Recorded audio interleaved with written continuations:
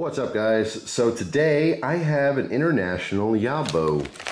So this is from Australia.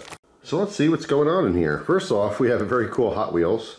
Uh, this is a Ford GT40. Very neat. I actually started collecting Hot Wheels um, only when I got my Challenger and only Challengers. I just happened to see a couple Matchbox and um, you know Hot Wheel variants. Not my exact one, of course, the Hellcats and stuff, which is kind of cool, but I just have a handful of them, as well as the car from Christine. So here's a quick little tidbit. My wife, Christina, was named after the car from the horror movie Christine. Um, my wife's mom, my mother-in-law, didn't like, you know, Christine for a name, so she made it Christina with no H. So, true story. Um, if you've never seen that movie, it's kind of goofy, but my my uh, wife's father um, loved that movie. So much so, he named his daughter after it. So yeah, check that out if you haven't seen that before. But anyway, besides that, we looks like we have two knives here. I'll go ahead and read this note first. Says, Hi Jeff, uh, hope you're well. As mentioned in our IG chat, I've wanted to send you some stuff, so here they are. Uh, the Mantis Tough Tony is a decent knife, uh, though the finish isn't great. The Real Steel Gerfalcon, uh, on the other hand, is an excellent knife. Hope you don't have these yet, so you can add them to your collection, but feel free to trade them off. Anyway, have a great day and stay safe. Cheers from Ivan.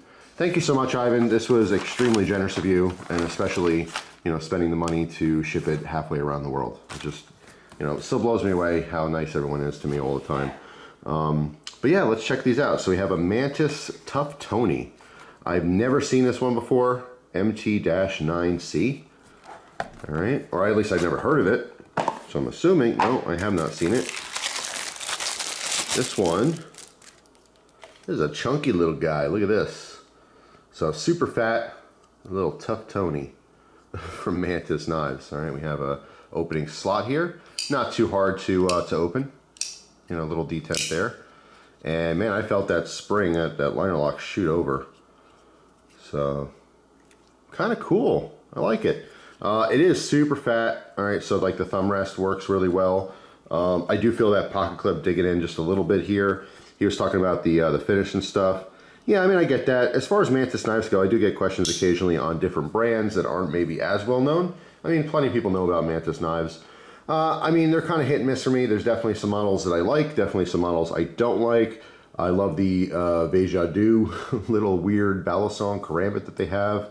Um, there's several other folders that I've used before, and, and, like I said, just kind of middle of the road, nothing blows me away. Uh, they do have some interesting innovation though, and definitely some different designs. But as far as their quality, like I said, just kind of eh, half and half. It really just depends on which model I guess you're talking about specifically. But yeah, super cool. Check out that that lockup. It is super super tight lockup, no wiggle at all. And even though it's a liner lock, it is a beefy liner which I guess goes with the entire theme of this, you know, short, fat, uh, stubby little knife. But I can probably get the job done just fine. Don't know the blade steel on this one offhand, and it's not marked on the blade, but super cool. So thank you so much for that. I really appreciate it. And that goes in that way. Let's go ahead and check out this other knife here. All right, from Real Steel, the H5 Gerfalcon right? Gerfalcon, Gerfalcon, I'm gonna go with Gerfalcon. It's uh, 7751 in black. I like Real Steel. Um, I've never had anything bad from Real Steel, and they're pretty affordable knives as well. So uh, definitely like them overall as a as a uh, brand. But yeah, so you can see a bunch of their other models here, tons of stuff. The Metamorph, uh, I've had a couple of those at this point. I mean, I've had probably, I don't know, two or three of these that are on this list, but super cool. Back here, I don't know if this is, oh, just showing, you know, difference between liner lock, button lock, frame lock. That's kind of cool. This little schematic back lock, at least for their knives. So yeah, pretty cool paperwork. We have a little write-up, looks like, on this one specifically. I, I'm telling you, I love this. Every company should do this. Why not? Why not give all the specs on a piece of paper inside of the box with the knife, right? So our blade steel 14C28N. We got some G10 for our handle. And there's a frame lock. Super cool. So, onto the knife. A little reveal here. Ooh. This looks nice. All right, so looks like stainless for our uh, lock side. Man, that I like this one. That one uh, flicked out real nice, super smooth. Lockup is perfect, no issues there. This is kind of cool. We got a G10 um, lock bar stabilizer insert, which is a little bit different. Haven't seen that before. I haven't seen this model. You know, there's so many knives out there. It's just hard to keep up with everything. Uh, I also do like that there's G10 inserts around these like oversized thumb studs. That's kind of cool too. I can definitely dig that. I'd love to see this in other colors as well, but this black is cool. I don't know, I don't think the lanyard came with this, um, but I haven't put a nice lanyard on here, it looks like. I do like it. I like the style a lot. Reminds me of a Chris Reeves or something. Um, but yeah, I mean, overall, that's comfortable. That is comfortable in the hand. Simple design, nice lockup, super smooth, flips out great. Love the blade, uh, you know, profile here, blade geometry and whatnot. Uh, it does have a, a, softer steel in here, but hey, as long as you can sharpen your knives, not a problem at all. Nice lanyard tube again, throwing the lanyard on there. I'll probably leave this lanyard on here. I actually like it. I don't necessarily need it for, for grip or anything, but you know, it just kind of looks nice. It's done well.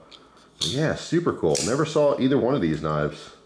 So thank you so much. I really appreciate that. That was a, it's just a really generous gift. I, I really can't thank you enough. Um, you know, everyone, everyone out there. But, but Ivan, this is your video, and I really do appreciate it. It was such a nice surprise, that's all. You know, I get all kinds of things in the mail, and occasionally, you know, I just get a package, and like I said, this one, all the way from uh, Australia, it's just really exciting for me. I love, you know, getting stuff from, from all around the world, you know. Just makes it extra special for some reason. Um, but anyway, I do appreciate your viewership very much. I'm really glad you enjoy the videos. I'm glad everyone out there enjoys the videos. Just a guy, you know, sharing my hobbies and stuff, but I'm glad people enjoy seeing them.